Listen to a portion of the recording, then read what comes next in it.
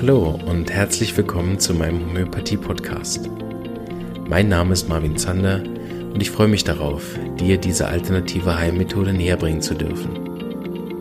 Ich werde dir die Hintergründe und Grundlagen leicht verständlich erklären, von meinen Erfahrungen und Erkenntnissen berichten und dir ermöglichen, alle Bereiche dieser ganzheitlich wirkenden Therapie kennenzulernen.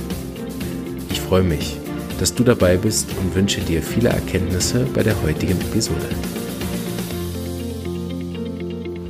Hallo und herzlich willkommen zu einer weiteren Episode von meinem Podcast.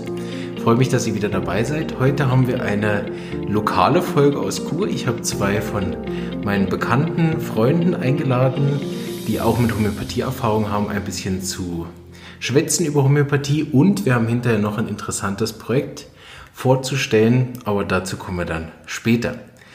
Äh, Ladies first, äh, Karin Hobi ist da. Hallo. Und ihr Mann Thomas Hobi. Hallo. Und ich, Marvin Zander. und äh, ja, willst du dich kurz ein bisschen vorstellen, Karin?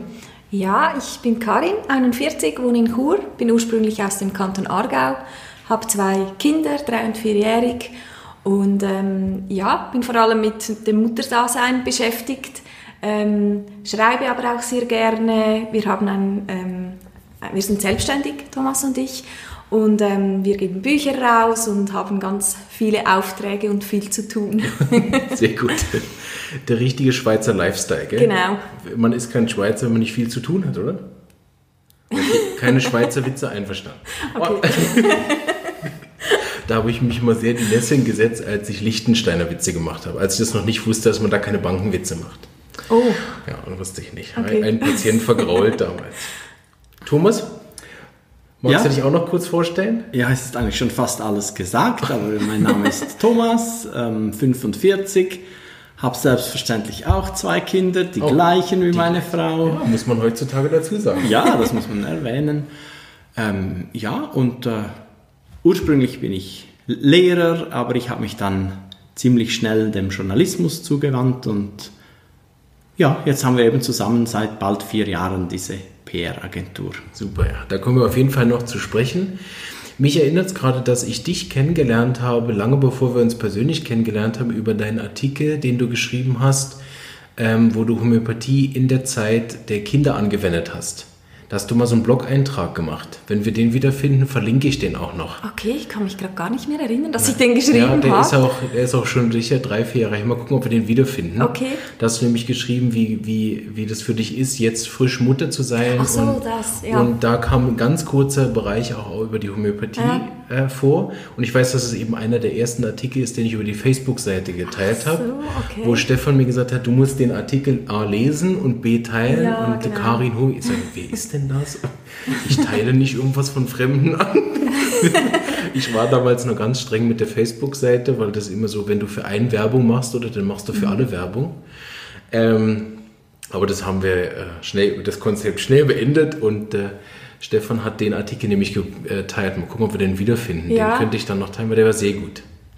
Sprich, hat vielen Müttern aus dem äh, Herzen gesprochen, das weiß ich noch. Ja, ich habe das mega gern gemacht und auch ich habe einige Blog-Einträge gemacht zu diesem Thema, weil das natürlich etwas ist, was, was einen sehr beschäftigt. Ein neues Leben mit kleinen Kindern, ähm, was man da alles erlebt und überhaupt nicht darauf vorbereitet ist. Und äh, das war für mich natürlich ein ideales Thema zum Schreiben und da könnte man ja jeden Tag Berichte drüber schreiben. Also, Wie bist du zum Schreiben gekommen? Oh, wie bin ich dazu gekommen? Also äh, zuerst bin ich mal zum Lesen gekommen. Also sobald ich äh, überhaupt lesen konnte, habe ich ein Buch nach dem anderen gelesen. Ähm, das war schon immer meine liebste Beschäftigung. Und irgendeinmal wusste ich, ich, das war noch im Schulalter, irgendwann schreibe ich mein eigenes Buch. Ich weiß, das ist so der Traum von vielen, aber ich habe das wirklich, wirklich ernst gemeint. Ich wusste, dass irgendwann in dem Bücherregal ein Buch von mir stehen wird.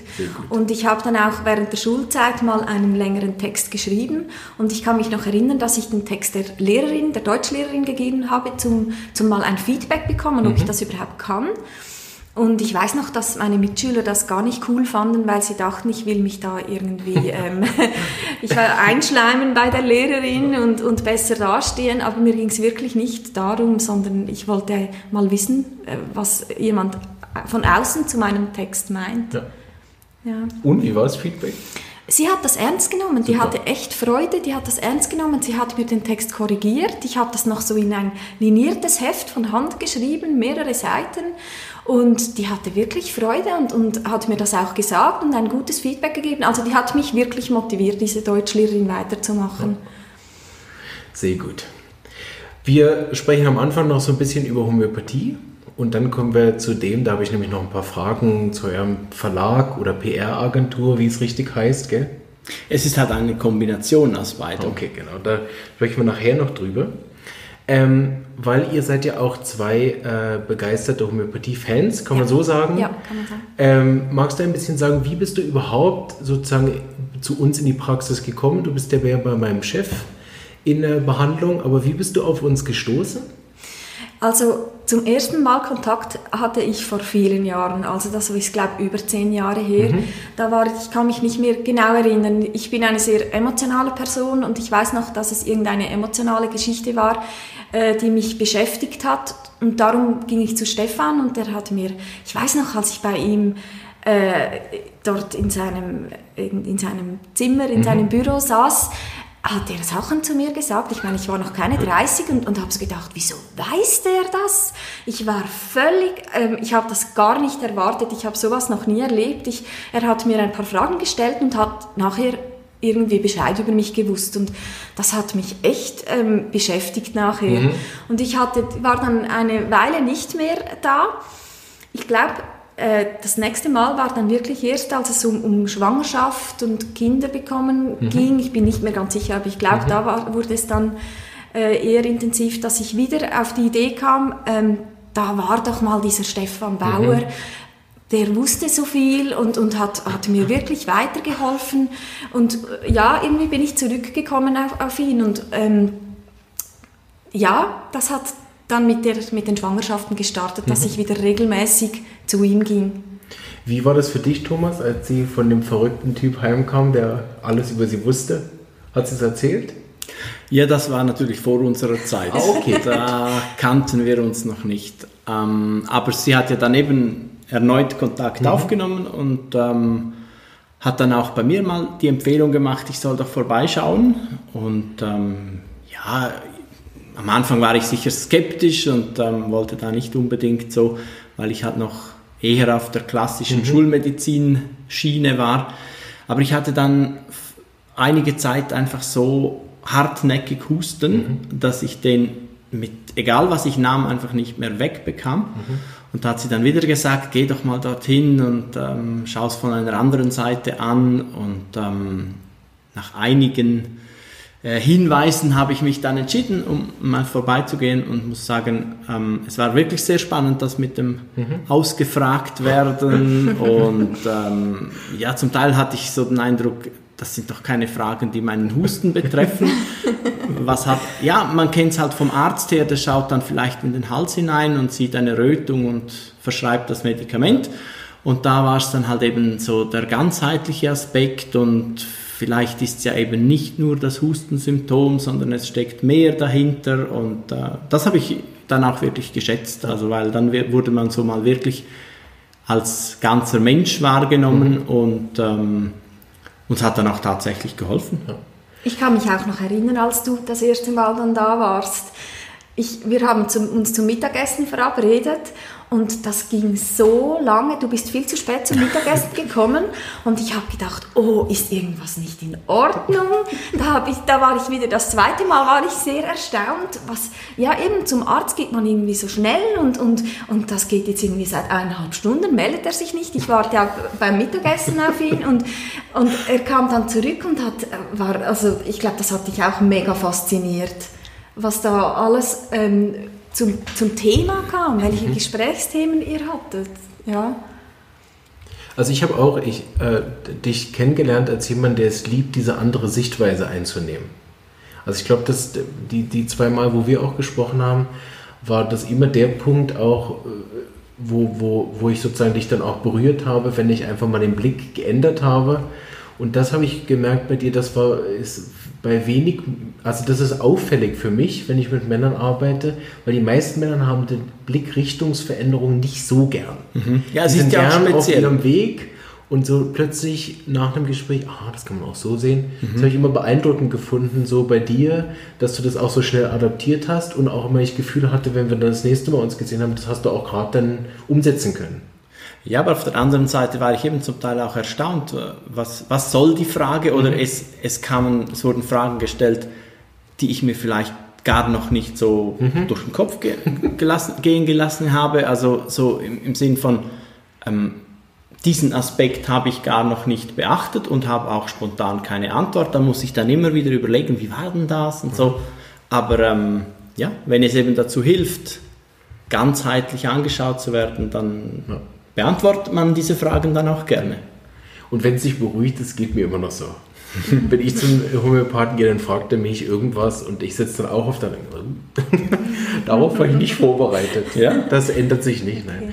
Weil der Mensch ist so einzigartig und auch der eigene Fall ist so einzigartig. Und was wir wahrscheinlich alle drei wissen, ist, jemand anders von außen hat einen ganz anderen Blick. Mhm. Also auch jeder Therapeut sieht natürlich auch wieder was anderes. Deshalb ist es auch so wichtig, dass es mit dem Therapeuten auch stimmt, weil wenn ich mich von dem nicht verstanden fühle, dann sieht er den Aspekt, der so wichtig ist, auch nicht. Ja, und deshalb geht es mir immer noch so, äh, gerade wenn ich dann äh, an die SAI fahre, ich ja, also die zweieinhalb Stunden nach Zug, mit dem Zug. Und äh, da gibt es ja viele Therapeuten, da passiert es mir öfter, dass ich dann auch mal bei einem anderen bin, weil der hat gerade Zeit. Und da merke ich dann, wenn jemand anders mal drauf guckt, der stellt natürlich dann auch aus seinem Blickwinkel ganz eine andere mhm. Frage mhm. und sieht dann plötzlich, das ist gar kein Arbeitsthema, sondern das ist ein Kindheitsthema, was da wieder hochkommt. Ja. Je nachdem, was der auch dann für eine Vorbildung hat. Aber das ist ja auch bei euch zwei spannend. Also mhm. ich weiß nicht, vielleicht haben die meisten nur entweder dich oder Stefan. Ähm, aber bei uns ist ja eben manchmal macht man einen Termin längerfristig ab, dann kann man wählen und manchmal braucht man ihn wirklich schnell und dann gehe ich halt eben entweder zu dir oder zu Stefan, egal wer dann schneller Zeit hat und ähm, es ist, obwohl, man's, obwohl der Kontakt ja nicht so intensiv ist, beide wissen immer, worum es geht. Also mhm. das finde ich einfach auch noch spannend so. Ja. Aber ich denke, ihr tauscht euch auch aus. Also Eins ist das, das zweite ist, dass wir aus demselben Stall kommen. Also nicht nur von der Ausbildung her, sondern wir auch extrem eng zusammenarbeiten. Also wir haben ja jeden Tag zwei Treffen, wo wir uns sehen. Und das jetzt seit über acht Jahren. Und das prägt einfach auch die Persönlichkeit. Gibt es dann gewisse Überschneidungen, wo meine Frau manchmal sagt, das war jetzt ein klassischer Stefan. Oder so. Ähm, aber auch, was, der, was das, was, was Karin bemerkt hat, ist, wenn, ich, wenn, wenn Stefan aufschreibt, er hat gegeben die und die Arznei in der und der Potenz, dann steht da ja eine Abkürzung, da steht dann zum Beispiel APIS C200. So, das sagt euch beiden jetzt verhältnismäßig wenig, außer ihr kennt die Arznei. Für mich steht da aber, je nachdem in welchem Kontext er das macht, stehen da fünf bis zehn Seiten aus dem Buch abgekürzt in diesen drei Buchstaben plus der Potenz und dann sehe ich den Behandlungsgrund. Mhm. Und dann weiß ich, wie Stefan gedacht hat, was er behandelt, was sein Ziel ist, was er erwartet und was er wissen will. Und das sehe ich alles in den drei Abkürzungsbuchstaben, mhm. weil das ja steht für, eine, für einen gesamten Menschen. Also, und das ist so faszinierend, dadurch ist auch, wenn wir zum Beispiel reden, haha, das ist ein Phosphotyp, so, dann, dann ist das erstmal nur ein Wort. Aber wenn, gerade wenn es so eine tiefwirkende Arznei betrifft, dann heißt es, ich kann sogar bis hin über seine genetische Prägung eventuell was aussagen. Je nachdem, in welcher Potenz es gegeben ist, kann ich dann manchmal umblättern und weiß schon vorher, was ich jetzt finden werde, eine Ahne.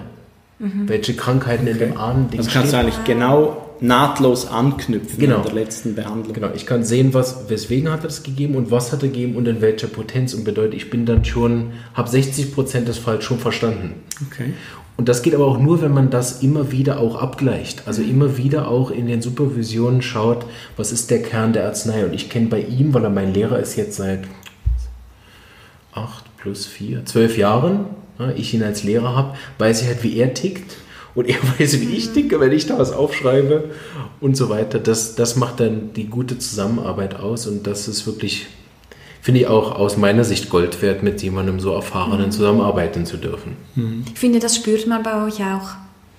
Ähm, eben gerade wenn man hin und her switcht, äh, einmal war ich jetzt auch bei dir und dann wieder bei ihm, ähm, ich, ich spüre dann, dass da, diesen Austausch, das, das, ist, das finde ich extrem wichtig. Oder auch, wenn Thomas zu dir geht und ich gehe zu Stefan und oft sind ja auch Themen zusammenhängend mhm. und es ist wichtig, dass ihr von uns beiden Bescheid wisst und das empfinde ich als extrem wertvoll. Man muss dann nicht nochmal alles erklären, er mhm. hat oder weiß doch auch nicht, ihr, ihr wisst einfach Bescheid und ja, das spürt man bei euch.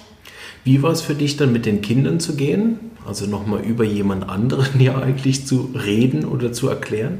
Das war für mich extrem wichtig. Also mhm. nicht nur war, sondern ist. Also allgemein mit den Kindern hat sich das intensiviert, weil es ist ja, es geht nicht mehr nur in Anführungszeichen um mich, sondern um andere Menschen, für die ich verantwortlich bin. Und ähm, darum ist das für mich so wichtig, egal was bei Ihnen gerade läuft, dass ich, dass ich zu euch kommen kann, dass ich zuerst mal hinschauen kann, ähm, was brauchen wir jetzt, ähm, bevor wir einfach jetzt mal zum Arzt rennen. Und ich verurteile ja die Medizin nicht, also, ähm, aber ich möchte zuerst einfach mal abwägen. Und ich habe das genau mit den Kindern konnte ich das lernen, mhm. dieses zuerst mal beobachten und schauen, was machen wir jetzt mal als ersten Schritt. Braucht es schon was? Brauchen wir zuerst mal Ruhe und Zeit? Oder ähm, ja, dann habt ihr auch noch das Notfalltelefon, was ich weiß, wenn jetzt wirklich mal ähm, mhm. außerhalb der Bürozeit äh, ich anrufen muss und da, das gibt mir auch so viel Sicherheit. Mhm. Ähm, ja, also mit den, gerade mit den Kindern, das ist für mich extrem von hohem Wert. Ja. Aber es ist ja eigentlich auch nicht nur ein Besuch, wenn etwas vorliegt oder wenn mhm. sie krank sind, sondern es ist irgendwie wie so eine Begleitung. Mhm. Also wir gehen ja auch zweimal pro Jahr oder so, auch mhm. wenn eigentlich nichts Akutes ansteht, mhm. aber einfach so, dass man weiß, ihr könnt die Entwicklung mitbeobachten und wisst durch das vielleicht dann auch in einem Akutfall besser Bescheid. Also da kommt mir ja jetzt eben spontan äh, der letzte Urlaub in den mhm. Sinn als, als wir in Sardinien waren und unser Kleinster einfach äh, plötzlich krank wurde mhm. und, und, und zwar wirklich mit sehr hohem Fieber und äh, gar nicht mehr sich selber und nur noch müde und ich habe ja dann dir an, dich angerufen und äh, du hast auch wieder diese zwei, drei Fragen gestellt, die ich beantwortet habe und ähm, nur schon das Gespräch hat irgendwie Ruhe vermittelt, weil mhm. ähm, du hast gesagt, ja, das ist jetzt nicht allzu schlimm, er hat wahrscheinlich Heimweh und, und also eh, nicht nach uns, weil wir waren ja da, aber nach der gewohnten Umgebung, nach dem, was vertraut ist, nach seinen Spielsachen und so, gib ihm aus der Hausapotheke das und das, dann wird er äh, durchschlafen 16 Stunden und, und dann wird viel besser sein. Und es war tatsächlich so. Er hat vom Nachmittag an bis äh, in den anderen Morgen hinein geschlafen und fühlte sich nachher schon, schon ein bisschen besser. Oder? Und mir hat das auch Sicherheit gegeben. Und das ist ganz interessant, was du ansprichst, weil das hat auch nichts mit Hellseherei zu tun, sondern wir haben im äh, zweiten oder dritten Jahr, von wo ich in der Praxis war, haben wir eine Qualitätssicherung durchgeführt über ein halbes Jahr. Da haben wir so Bögen mitgegeben, wo die Leute aufschreiben mussten, was in den ersten zwei Wochen nach einer Arznei passiert. Und das war am Anfang eigentlich mehr so ein Projekt zu schauen, wie schnell eine Arznei wirkt. Das war eigentlich die Idee. Und dann haben wir die aber natürlich auch ausgewertet, äh, auch dann je nach Arznei. Und wir haben festgestellt in dem Zusammenhang etwas, was Stefan schon mehrmals aufgefallen ist und was bestimmte Bücher auch schreiben, aber nochmal ganz explizit, ja, ohne dass wir den Patient aufgefordert haben, das zu beobachten, dass bestimmte Arzneien bestimmte Wirkungen machen. Also es gibt so ein paar Arzneien, da haben wir so viel Feedback bekommen und so viele auch erfolgreiche Fälle, die sonst kann man sie ja nicht auswerten, wo bestimmte Mittel auch ganz explizite Wirkungen eben auch haben. Und das wiederum kann man dann benutzen, auch für sich selber gewisse Sicherheit zu bekommen, einerseits in dem, was man ankündigt, aber auch in der Kontrolle. Also hat mein Mittel auch wirklich funktioniert? Mhm. Sehe ich denn, wenn es den, wir haben, wir haben teilweise von einigen Mitteln über 50 Rückmeldungen, oder? Und das dann sieht man bei 48 davon, die haben geschwitzt oder bei 48 davon, die haben äh, weniger Appetit gehabt nachher, weil sie vorher übermäßigen Appetit hatten zum Beispiel. Und dann kann man auch in der Kontrolle dann wieder viel besser sehen, hat mein Mittel auch wirklich gewirkt, mhm. weil es sich sozusagen mit den objektiven Verbesserungen, ohne dass ich aufgefordert habe, auf den Appetit zu schauen. Mhm. Und das ein, ich weiß nur, was ich gegeben habe, äh, das war eben auch so Mitte, wo, wo wir wissen, okay, das passiert so häufig bei Kindern, dass die, wenn, wenn das passiert, man weiß, super, mhm. dann kann man sich zurücklehnen. Ne? Mhm. Ja, du hast die Frage vorweggenommen. Ich wollte fragen nach einem eindrücklichen Homöopathieerlebnis. Das haben wir jetzt schon abgehakt. Hervorragend. Na gut, es gibt noch ein zweites bei meinem Sehr Husten. Dann nehmen, nehmen wir das gern noch. Weil da musste ich irgendwie über drei Tage etwas nehmen bei diesem ersten akuten Hustenfall. Da hat ja wirklich vom Arzt her so Mittelchen haben nicht gewirkt, also über drei Monate.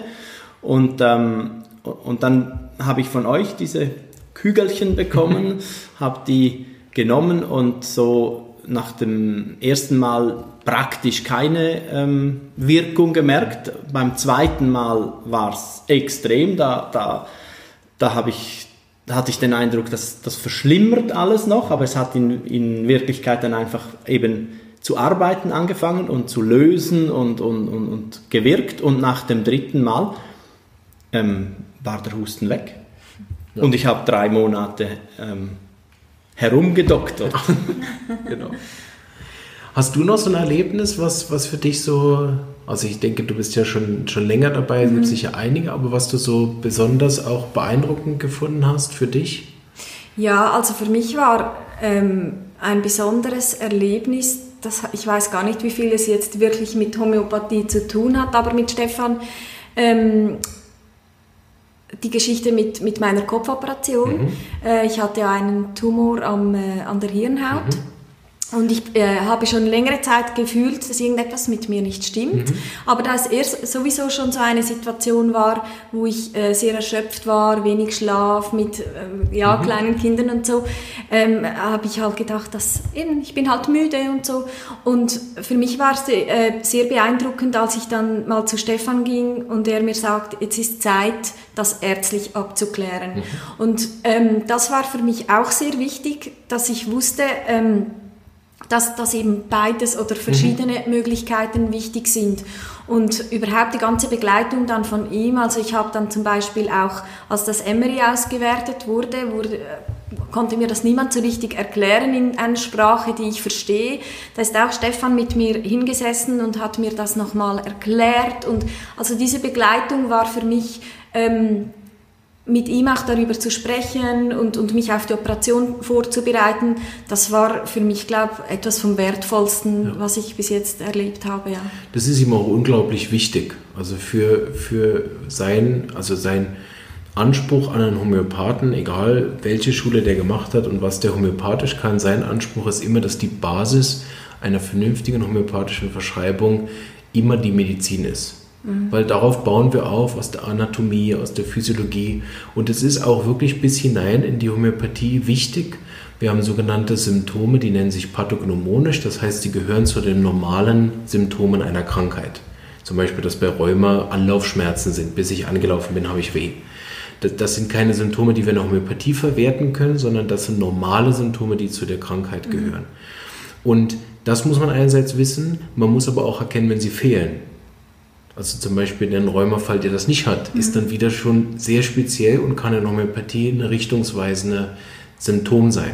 Also es ist bis hinein in die Homöopathie, aber auch eben für die Betreuung von Patienten, dass ich eben so ein Laborblatt auch verstehe, lesen kann und den Patienten auch betreuen kann und, und weiß, was ich da tue, auch um die eigenen Grenzen zu wissen und so weiter. Also es spielt in so viele äh, Sachen rein, die einen professionellen Homöopathen aus Stefans Sicht äh, ausmachen und eben auch von der ganzen SAI-Schule, wo wir studiert haben, dass äh, ich das auch äh, für ein Grundkriterium halte, überhaupt auch. Also ich, ich könnte gar nicht so arbeiten, wie ich arbeiten könnte, ohne das ganze Wissen.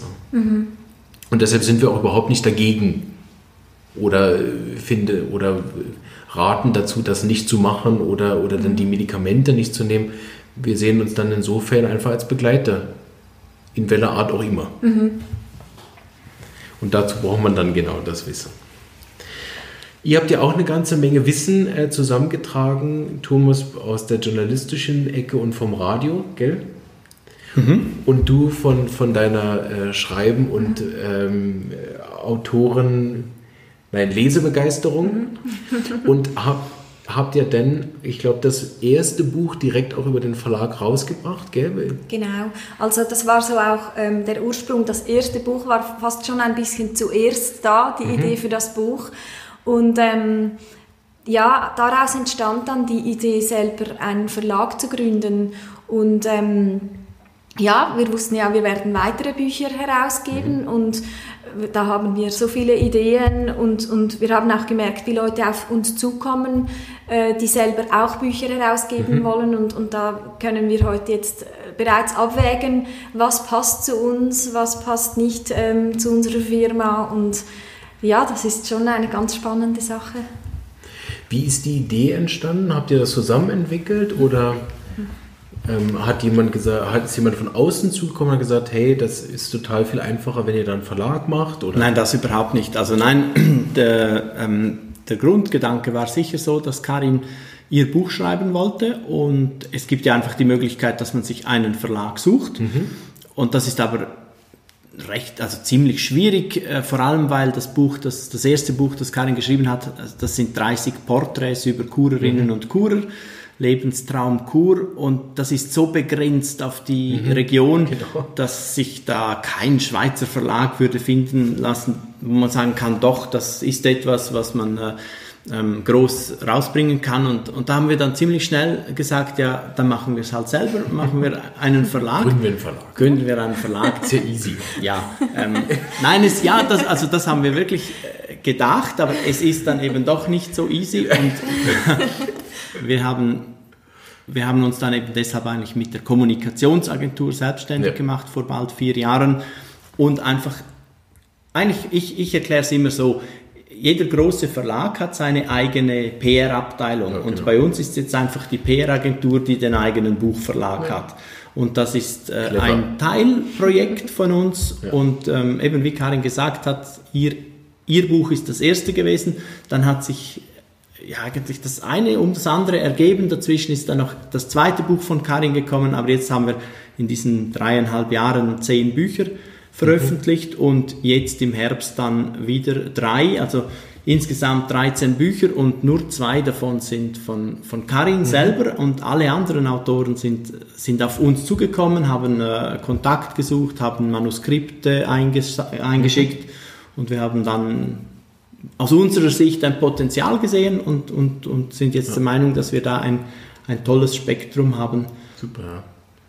Das werde ich auf jeden Fall auch noch verlinken, für die, die das dann mehr interessiert. Wir reden ja noch weiter über das, aber für die, die dann auf den Verlag noch mal schauen wollen, was hier so lokal in Kur äh, abgeht, äh, werde ich das auf jeden Fall dann noch verlinken, falls Sie jetzt gerade, oh, das will ich mal gerade angucken. Aber noch zu Ende hören. Unbedingt. Ähm, ich habe eine kleine provokative Frage jetzt ausnahmsweise. Äh, grundsätzlich habe ich immer so ein bisschen das Gefühl, dass Buch so ein bisschen tot ist. Also ich komme persönlich nur noch dazu, Homöopathiebücher zu lesen. Für alles andere habe ich, fehlt mir absolut die Zeit mit zwei Kindern. Äh, außer natürlich die gute Nachtgeschichten. Also das, äh, aber das holen wir aus der Bibliothek. Also wir kaufen so gut wie keine neuen Bücher. Ich habe mich auch von all den Büchern, die man so sammelt über Jahre, habe ich mich eigentlich mehr oder weniger getrennt. Ähm, so, weil ich viel jetzt auch auf den Hörbüchern äh, bin. Also ich habe dann eine Zeit lang auf dem Weg zur Arbeit und oder auf den langen Fahrten nach Zug habe ich dann halt Hörbücher gehört. Ähm, ich bin auch nicht umsonst ja ein Podcast und nicht schreiben, ne, kein Blog, sondern ein Podcast, weil Reden und Sprache mir mehr liegt als Lesen und Schreiben. Obwohl ich sehr gern gelesen habe, auch viel gelesen, so Fantasy, Herr der Ringe, rauf, runter. Das hat mir sogar meine Mama zweimal vorgelesen, die gesamte Herr der Ringe, Wahnsinn. Ne? Uh, okay. Also, ähm, so, das ist und diese Vorlesen vielleicht, weil meine Mama so viel vorliest, vielleicht ist deshalb auch die Hörbücher Bücher für mich besser. So, ich werde dann, wenn dein Hörbuch rauskommt, werde ich mich dem dann noch widmen Schön, dürfen. das ist schon bald. Genau. ähm, aber deshalb hatte ich immer so ein bisschen Gefühl, Buch ist irgendwie Out. tot. So. Aber ich bin ja froh drum, also wir haben ja auch ganz viel Kinderbücher, bin ich ganz froh drum, weil da ist Hörbücher ist ganz was anderes. Für, für, für den Sohn merke ich das. Der unterscheidet da wirklich strikt. Und ich habe auch gelesen, für die Hirnbildung macht es einen Unterschied, ob, ob äh, vorgelesen wird oder die Stimme vom Audio kommt. Also dass es einen okay. Unterschied macht für die Sprachentwicklung von Kindern, ob die ein Audio hören, ob die Fernsehen schauen oder ob die Eltern vorlesen. Macht einen riesen Unterschied für die Hirnentwicklung. Also auch dieses Vorlesen wirklich auch eine wichtige Sache. Deshalb machen wir das auch. Also jetzt nicht nur wegen der Hirnforschung, ich lese auch gern vor. Wobei das bei mir immer mehr so ein Theaterstück ist. Auch cool. ja, Papis Vorlesestunde. Szenische Lesung. Am Anfang hatte ich Ärger mit meiner Frau. Weil sie gesagt hat, du regst die Kinder auf. Weil bei dir gibt es Special Effects und Soundeffekte ja, und dann super. rennst du durch die Wohnung und so. Du sollst sie entspannen am Abend. Aha, das ja, ist okay. nicht so mein Aber sorry, provokative Frage. Ist das so oder ist das nicht so? Dass das Buch tot ist? Ja, als Nein, Medium. Das, das glaube ich überhaupt nicht. Gut. Also das ähm, darf nicht sein. ich glaube eher das. Nein, also ich finde es nach wie vor wunderschön, ein Buch in der Hand zu halten. Ich bin, ich bin ja sehr der elektronische Typ, aber in Sachen Buch einfach überhaupt nicht. Also ich, ich könnte nicht ein Buch so in, auf einem iPad als E-Book lesen, obwohl es unsere Bücher auch als E-Book gibt. Aber ich finde einfach, das Buch in der Hand zu halten, die Seiten umzublättern, ähm, auch mal flexibel im Bett lesen, auf dem Sofa, wo auch immer, unterwegs, das kann man nur mit einem Buch. Und das gleiche gilt auch für Zeitung. Also man kann sie heute auch als E-Paper lesen, aber ich finde einfach immer noch, an, sich an den Tisch zu setzen, die großen Blätter umzublättern, ich finde das etwas Schönes. Super. Und das andere, was du angesprochen hast, die Hörbücher, das ist ja eigentlich auch ein Buch. Genau. Also es muss ja auch zuerst geschrieben werden. Korrekt. Es geht ja um Literatur. Und ähm, ob ich es jetzt in Buchform oder in Hörbuchform konsumiere, es geht da ja um den Inhalt. Das und stimmt. deshalb denke ich, die Literatur, die wird nie aussterben. Einer konsumiert sie in Buchform, der andere in Hörbuchform und der dritte in E-Book-Form. Also ich, ich bin auch wirklich so, dass ich mir alles ausdrucken muss. Es gibt ja für Homöopathie auch wirklich viel so E-Reader, Bücher und so und auch die Seminare dann. Aber für die echten Informationen in der Praxis, da an dem Bildschirm, kann, also ich kann so nicht arbeiten. Wenn ich wirklich lerne, muss ich mir das ausdrucken. Mhm. Das ist ja das Gleiche mit dem papierlosen Büro. Da hat man ja mhm. vor einigen Jahren gesagt, da wird äh, Drucker braucht man nicht mehr, Papier braucht man nicht mehr, alles elektronisch. Und heutzutage, also ich weiß nicht, ob mehr oder gleich viel ausgedruckt wird, aber es wird sicher immer noch gedruckt, weil der Mensch hat einfach gewisse Sachen gerne auf Papier hat. Das, also wenn ich zum Beispiel Korrektur lesen muss oder redigieren muss, das geht auch nicht am Bildschirm. Genau. Da, muss, da brauche ich das genau. Papier, muss, ja. muss äh, hineinschreiben können und so weiter. Jetzt ist ja dein erstes Buch und dein zweites Buch, das sind ja wirklich zwei grundverschiedene Bücher. Absolut. Wie, wie, wie geht sowas, dass man so einen, so einen starken Wechsel hat? Ähm, das liegt daran, dass ich einerseits zwar gerne Geschichten schreibe, die von mir erfunden sind, mhm. die aus mir entspringen. Andererseits schreibe ich aber sehr, sehr gerne über andere Personen, also über Geschichten, die tatsächlich so passiert sind, über andere Menschen. Ich höre auch wahnsinnig gerne anderen Menschen zu, die mir über ihr, ihr Leben erzählen. Mhm. Ich ähm, habe zum Beispiel, ich habe mal eine äh, journalistische Kurse habe ich besucht mhm. und ähm, könnte eigentlich journalistische Texte schreiben, aber das liegt mir gar nicht so. Ich bin eigentlich die, die gerne Porträts und Kolumnen schreibt. Das heißt eben über, über Gefühle, entweder über meine oder dann über die von anderen Personen. Und ähm, ja, da, das war für mich der, der Grund. Ich es kommt mir jetzt gerade wieder in den Sinn, ich habe das vergessen. Ich, ich habe zu Thomas gesagt, ich schreibe so gerne Porträts. Und dann hat er irgendwann mal gesagt, dann schreib doch, mach doch ein Buch daraus. Und wenn ich dann anderen Menschen zuhören kann und versuchen kann, ihre Gefühle auf Papier zu bringen, da, da entsteht so viel Leidenschaft dafür. Ähm, also die, ich liebe dieses Buch, Lebenstraumkur, genauso wie meinen Roman. Ähm, der, der hat mich auch sehr mit den Menschen, die ich porträtiert habe, verbunden. Und das ist auch das, was ich immer wieder erlebe. Die Menschen, die ich interviewe, mit denen ich spreche, denen ich zuhöre, da entsteht immer ein, ein, eine Herzensverbindung, kann ich sagen. Also ein wunderschöner Kontakt. Es gibt selten Menschen, von denen ich nachher nie mehr was höre. Da haben sich sogar Freundschaften gebildet oder untereinander bei Lebenstraumkur Freundschaften gebildet. Ja. Und das ist etwas, was ich liebe. so fast Homöopath geworden, ne? Fragen ja, stellen und stimmt, zuhören stimmt. Und dann so eine Herzverbindung zu haben. Ja. Ich sage das manchmal, weil, weil es wirklich ein Teil ist, den ich, also es gibt wenig Sachen, die ich an meiner Arbeit nicht mag, aber es gibt diesen Teil, dass wenn Leute gesund sind, sie nicht wiederkommen.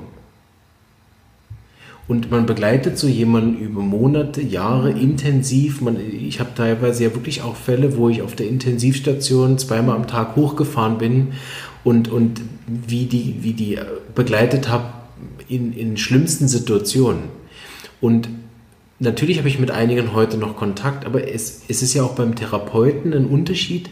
Man will mit dem Therapeut eigentlich auch nicht befreundet sein. Das, also auch, und auch auf der anderen Seite ist es auch gefährlich, wenn man zu Patienten aktiv jetzt versucht, eine Verbindung aufzubauen als Therapeut. Das ist ja dann auch schnell ein bisschen ja. creepy, oder? So, weil ich, wenn, wenn ich mit den Menschen arbeite, dann liebe ich die Menschen, mit denen ich arbeite. Mhm. Ich, ich, kann sonst nicht arbeiten so. Ich mag alle meine Patienten, auch wenn, wenn Kinder habe zum Beispiel, die mir ins Gesicht schlagen, dann ist das für mich äh, überhaupt kein Akt von, von, von, dass ich den jetzt nicht mag oder so, sondern das ist er zeigt mir sein inneres Problem. Mhm. Und das ist ein ganz intimer Kontakt, den ich habe. Und, aber die gehen dann halt, sobald ja. sie nun besser ist. Und das ist wirklich ein Punkt, wo, wo mich manchmal stört, dass ich so vielen Menschen schon in mein Herz geschlossen habe, wo ich nicht mehr weiß, wo sind die heute, wie mhm. geht's denen? Ich kann die auch nicht anrufen dann, hey, du warst ja vor drei Jahren bei mir, wie geht's? So, ne, also das, das ist... Äh, das ist jetzt mein Vorteil. Genau, absolut, ja, merke ich gerade. Also. Genau. Und äh, kurz nochmal zurück, dann, mhm. dann kommen wir da gerne noch drauf. Veröffentlichst du eigentlich auch über den Verlag dann die journalistischen Arbeiten oder etwas in der Art? Nein, ich bin ja jetzt eigentlich nicht mehr journalistisch tätig. Ähm, ah, okay. das, war, das war früher beim Radio und beim Fernsehen. Ähm, aber jetzt sind es halt wirklich, ähm, ist es Kommunikationsberatung okay. Mhm. und wenn ich, wenn ich da etwas schreibe, dann sind das Medienmitteilungen okay. mhm. oder Publireportagen und die werden dann aber irgendwo anders, das ist ja dann ein Kundenauftrag okay. mhm. und die werden dann anderweitig veröffentlicht. Ja, ja. Und Buchschreiber wäre ich gar keiner.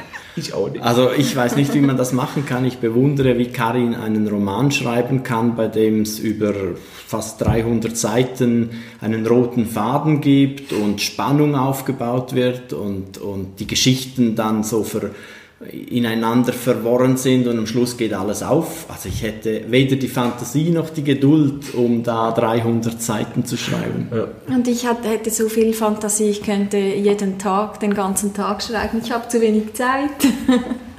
ja. Ich habe mir mal zwei Bücher gekauft, die ich auch gelesen habe, wie man einen guten Roman schreibt. okay. Und das waren zwei sehr gegensätzliche Bücher, deshalb habe ich sie gekauft. Ich habe da lang gesucht, welche ich nehme. Weil ich hatte erst überlegt, einen Autorenkurs zu machen, weil ich überlegt habe, ein Sachbuch zu schreiben für Homöopathie irgendwann mal. So, das war eigentlich die Idee. Und dann habe ich halt aber für Sachbücher nichts gefunden, das halt ja mehr inhaltsorientiert ist, das ist ja je nach Sachlage. Und dann habe ich die zwei Bücher in die äh, Sache bekommen, hatte so ein ganzes Jahr lang, wo ich wirklich dann auch damit gearbeitet habe. Dann muss man ja so Übungen machen mhm. und so all seine Ideen auf in so ein Notizbuch schreiben, habe ich alles ganz brav gemacht. Und ich habe aber ein großes Problem, wenn ich das Ende von meinem Buch kenne, habe ich keinen Bock mehr zu schreiben. Es langweilt mich. Okay.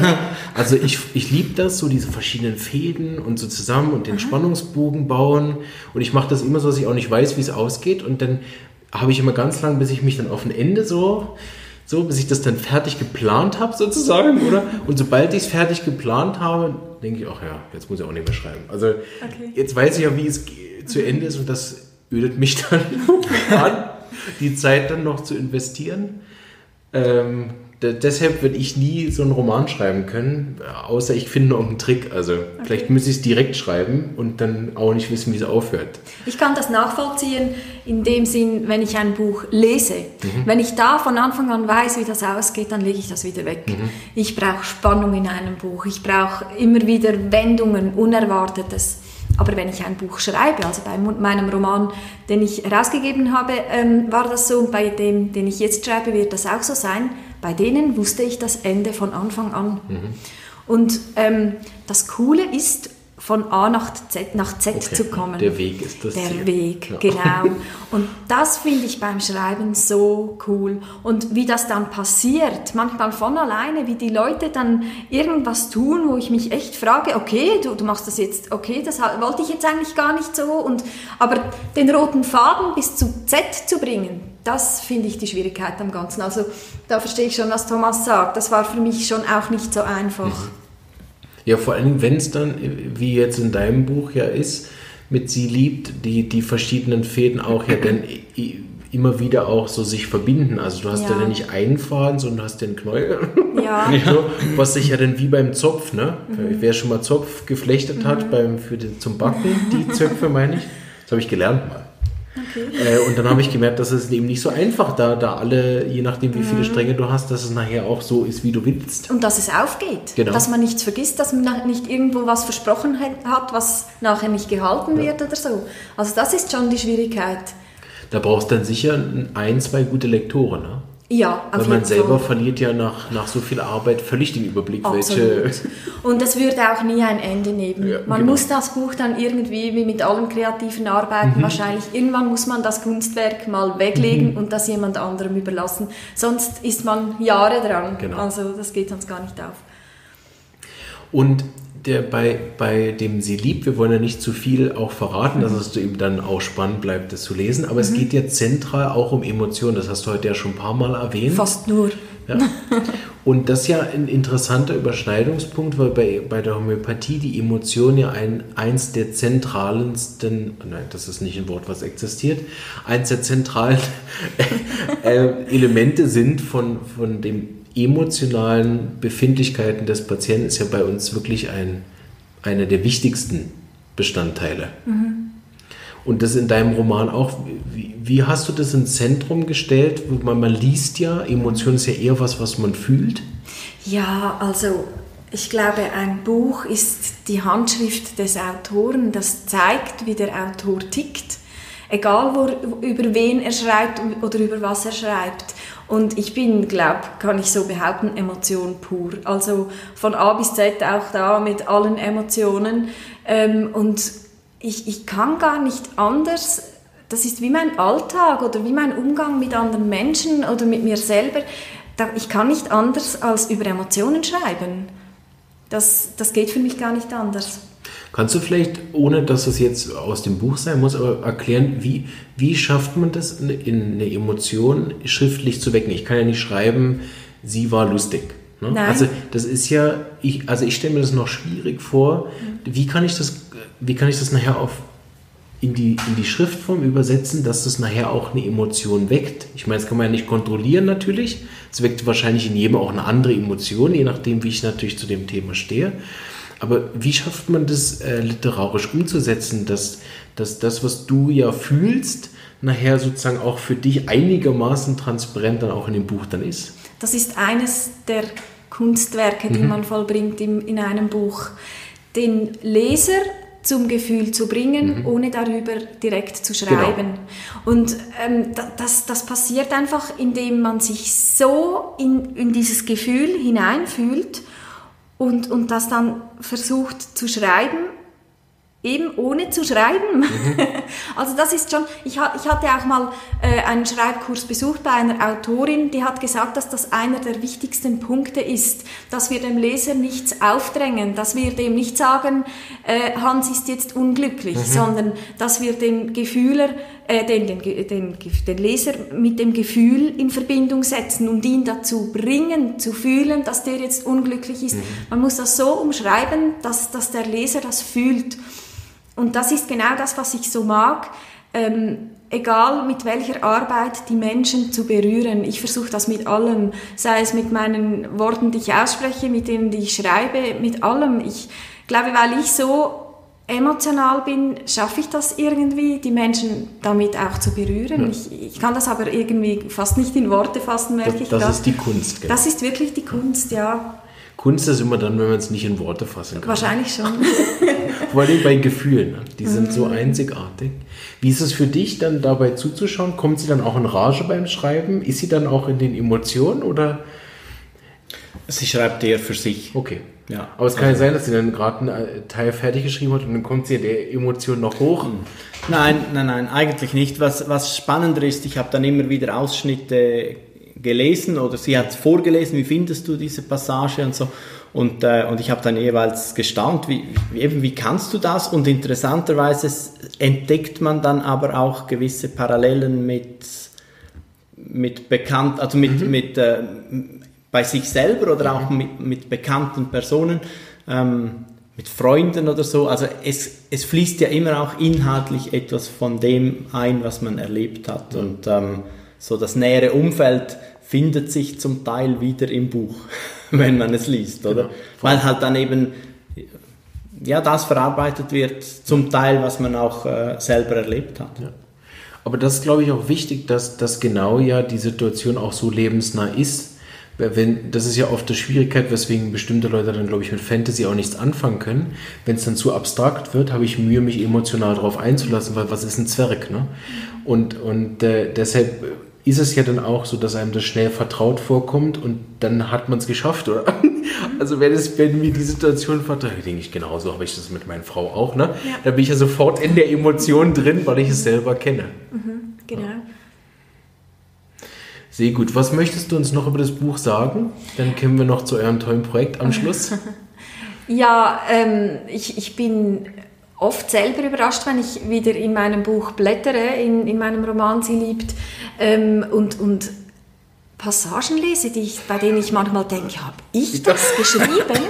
Also ich, ich meine, es gibt in dieser Geschichte auch sehr viele, ähm, wie soll ich das sagen, aber so fast ein bisschen psychopathische Abschnitte, also wo ich mich echt frage, woher das alles kommt. Oh, das habe ich mich auch oft gefragt.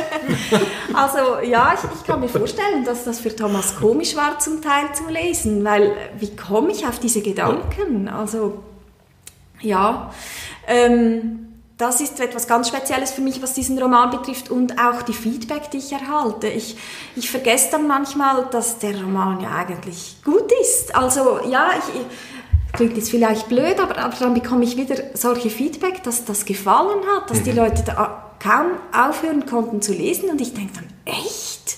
Das, was ich geschrieben also da merke ich, da bin ich irgendwie noch nicht so weit. Mhm. Also das darf noch passieren. Ja. Ich finde, der Inhalt ist das eine, aber der Schreibstil macht auch sehr viel Absolut, aus, oder? Ja. Und genau. ich, also ich, ich bin ja Außenstehender bei diesem Buch, ich darf das schon sagen. Es liest sich wirklich sehr, äh, sehr, sehr gut. Also mhm. es, es, fließt einfach und wenn man auf einer Seite ist, will man wissen, wie geht's weiter. Mhm. Und das haben auch viele schon so gesagt, sie konnten nicht mehr aufhören mhm. und das Buch nicht mehr zur Seite legen. Man will immer mehr wissen, mehr wissen, dann spitzt sich's zu und dann denkt man so, jetzt ist der Höhepunkt erreicht und, und dann kommt tatsächlich noch ein zweiter oder dritter Höhepunkt. Mhm. Ja. Und das ist so irgendwie das Faszinierende, wo ich denke, das muss jemandem schon gegeben sein. Also ja. Und ja. das macht dann eben den, den Schriftsteller aus. Ja. Das war auch mein Ziel. Ich wollte auch, dass der letzte Abschnitt, Abschnitt musste nochmal zuerst ein bisschen Ruhe einkehren und dann nochmal zack. Mhm. Also ich wollte, dass der Leser das Buch weglegt und denkt, echt, ist das jetzt echt so am Schluss noch so gewesen? Ähm, und dass das, dass das Buch noch in den Gedanken bleibt. Mhm. Das war mein Ziel und ich hoffe, dass ich das so erreicht habe.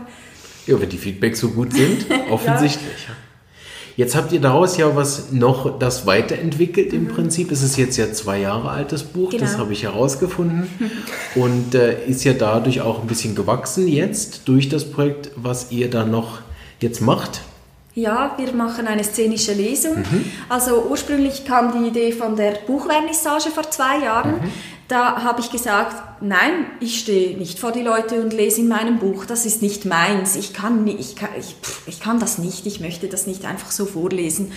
Und ich hatte da spontan rasch die Idee, vielleicht zwei Monate vorher machen wir doch so eine kleine szenische Lesung draus.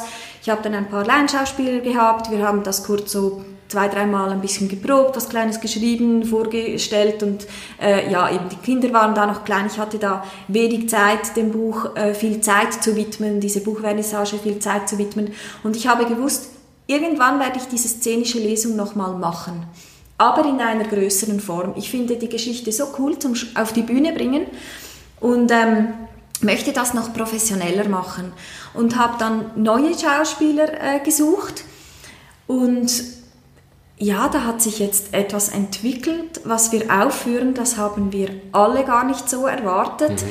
Es ist immer noch eine szenische Lesung, das heißt, eine Person liest, das ist unsere Hörbuchsprecherin und die Laienschauspieler spielen dazu und haben auch immer wieder ein bisschen Sprechtext, aber irgendwie ist da viel mehr Professionalität hereingewachsen, als ich das überhaupt gedacht habe. Mhm.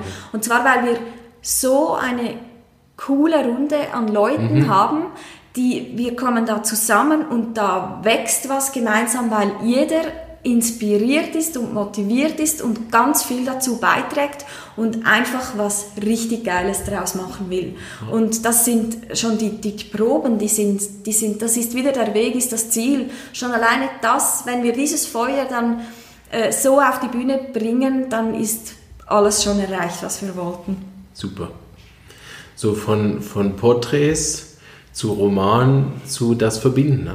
Ja, genau. Weil, die, weil der Schauspieler ja wieder was Eigenes mit reinbringt. Mm, ne? was, was, ja, was ja im Vorfeld, wenn ich ein Buch schreibe, äh, da habe ich ja auch eigene Bilder. Also das ist ja auch, was viele sagen, wenn sie jetzt zum Beispiel ein Buch lesen und dann eben den Film gucken, wie jetzt zum Beispiel bei Herr der Ringe bei mir war, dass ich halt merke, es hat meine innere Fantasie von dem Buch, ich kann es jetzt nicht mehr lesen weil ich immer dann die, die Hollywood-Bilder in der Birne habe und meine eigenen Bilder, wie ich mir das alles vorgestellt habe, wie niedergetrampelt hat, mhm. oder? Mhm. Deshalb habe ich auch dann vermieden, zum Beispiel jetzt den Hobbit zu gucken, auch wenn es wahrscheinlich ein grandioser Film ist mhm. und es mich auch so ein bisschen reut, aber ich merke, dass es mir das, das eigene zu bewahren noch wichtig. Im Film werden, werden dir halt die Bilder vorgegeben genau. und im Buch kannst du sie dir selber machen. Ne? Aber mit einem Schauspieler ist das nochmal was anderes, finde ich, mhm. als ein Film. Ja, Weil der bringt ja dann wirklich auch auf diese jedes Mal neu auf der Bühne. Das ist ja dann nicht jedes Mal gleich und je nachdem, wie ist der jetzt in Stimme und so. Absolut. Ist es dann ein äh, variable Abend. Ne? Mhm. Das merken wir schon in den Proben. Genau. Aber was cool ist, wenn man zuerst das Visuelle hat mhm. und erst nachher liest, ähm, ein Buch beinhaltet natürlich noch immer viel, viel mehr genau. und jedes Thema noch viel intensiver. Also wenn einem das Visuelle gefällt, finde ich, lohnt es sich auch immer noch, das Buch zu lesen, weil, äh, also das dazugehörige Buch, weil dann ähm, so viel Inhalt noch geboten wird, der einfach wichtig ja. ist. Oder dann eben die Feinheiten von dem Zopf. Ja. Also es merkt man ja, wenn man dann mal wieder ein Buch verfilmt gesehen hat, dass halt auch bestimmte Handlungsstränge komplett meist rausgenommen werden weil das im Film nicht umzusetzen ist, was aber denn das Buch natürlich kann in der Langsamkeit des Lesens. Mhm. Und szenisch, um dann noch vielleicht für den Begriff, weil ich kannte den bisher eigentlich nicht, ich mhm. habe das erst bei euch kennengelernt, was mhm. szenische Lesung überhaupt bedeutet. Vielleicht das nochmal erklären für die, die es nicht wissen. Ja, also ich glaube, da, da gibt es gar nicht ganz viele große Regeln oder ich wüsste oder kenn, kenn, kenne diese nicht. Also ähm, Wichtig dabei ist wirklich, dass die Schauspieler nicht den Hauptsprechttext haben, sondern ähm, die mhm. Sprecherin jetzt bei uns. Und ähm, wir stellen das szenisch dar auf mhm. eine sehr einfache Art. Also wir haben da kein großes äh, Bühnenbild mhm. mit Trari-Trara, sondern auf eine sehr einfache Art. Aber wieder, was ich vorher gesagt habe, vor allem mit Emotionen. Mhm. Die bringen wir auf die Bühne. Ja. Also so eine Mischung zwischen Theater und Lesung, oder? Genau. Also es, es ja. wird nicht nur vorgelesen, aber es wird auch nicht alles gespielt, sondern genau. es wird gelesen und gespielt. Mhm. Also ich werde auf jeden Fall kommen. Wir haben heute schon diskutiert, wer wann wie wo geht und sind daran, die Termine zu finden. Und äh, habe auch schon gesagt, Yvonne und ich, wir werden uns dann noch hinsetzen und was raufsprechen. Dann könnt ihr unser Feedback dann sehen. okay, das sind Facebook sehr gespannt. Oder YouTube oder wo wir es dann hochladen. Das wird nicht in den Podcast kommen, aber sicher über Facebook und so, weil äh, habe ich noch nie gesehen und äh, ist, äh, machen wir dann, wenn wir es beide gesehen haben, dann machen wir dann noch was drüber. Ja, euch gehört der Abschluss, äh, wenn ihr wollt. Gibt es noch was, was zu sagen wäre? Irgendwas, was wir noch nicht besprochen haben, was wichtig wäre? Für euer Projekt, für den Verlag über Homöopathie? Also ich würde gerne zur Homöopathie noch was sagen. Ich, ich kann einfach jedem empfehlen, ähm, ja, Augen und Ohren offen zu halten, sich bewusst äh, zu sein, äh, oder besser gesagt, bewusst mit, mit dem umzugehen, was, was man erlebt und was man sieht und nicht einfach nur rasch eine Entscheidung fällen, wenn es irgendwie geht, sich auch da die Zeit nehmen und schauen, was wann nötig ist und welche Kontaktpersonen man sich ähm, suchen kann. Ich finde, eine Begleitung von Menschen, die, bei denen man sich wohlfühlt und äh, wo man irgendwie sich sicher fühlen kann, ähm, finde ich extrem wertvoll. Ja, das kann ich wirklich jedem empfehlen. Mhm. Schön. Ja, dem kann ich mich anschließen. Also ich sehe es auch als Begleitung und nicht irgendwie eben nur für akute Fälle. Ähm, Wenn es nötig wird, dann braucht man medizinische Hilfe, aber es ist für, für die ganze Familie, finde ich, ist es sehr wertvoll zu wissen, man hat eine Ansprechperson, die kennt mich und die Familie ganzheitlich, genau. die nimmt das wahr und die verschreibt auch wirklich nur dann etwas, wenn es sein muss oder weist weiter, wenn, wenn die Homöopathie vielleicht einfach nicht das richtige Mittel genau. ist. Das gibt extrem Sicherheit und gerade mit Familie denke ich auch so die Notfallnummer zu haben, da ist man einfach äh, gut aufgehoben. Ja, super.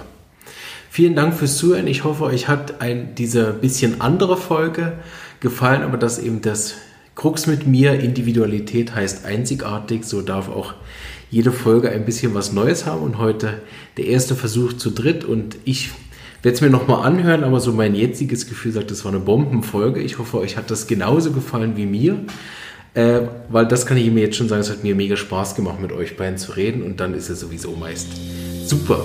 Soll man sich immer machen, am Ende des Podcasts sich selber loben. Ganz wichtige Regel. Vielen Dank fürs Zuhören und bis bald. Ciao.